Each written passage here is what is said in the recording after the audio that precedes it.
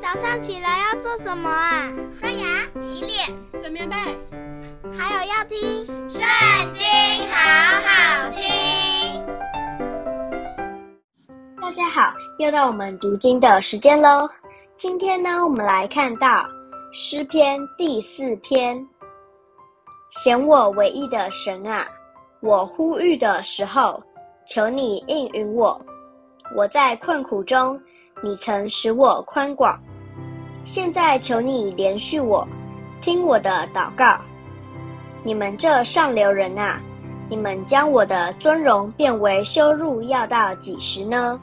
你们喜爱虚妄，寻找虚假，要到几时呢？你们要知道。耶和华已经分别虔诚人归他自己。我求告耶和华，他必听我。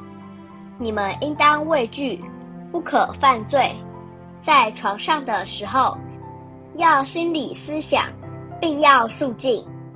当献上公义的祭，又当倚靠耶和华。有许多人说：“谁能指示我们什么好处？”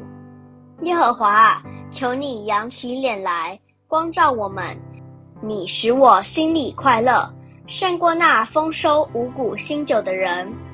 我必安然躺下睡觉，因为独有你，耶和华使我安然居住。